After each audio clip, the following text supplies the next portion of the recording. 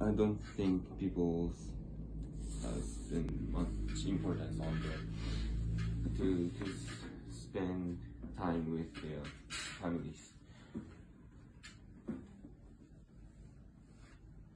Um, for example, my teachers still working on weekends to make tests or to prepare the, the next class.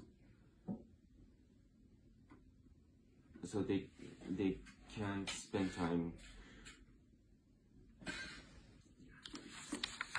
Uh, they don't have importance on the on to to, to spend time with their families.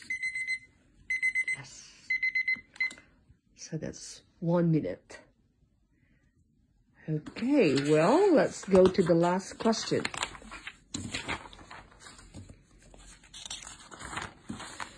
Should utilities such as water and gas be run by the government? Should utilities such as water and gas be run by the government?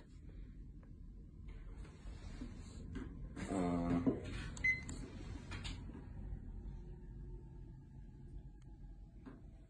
I think I should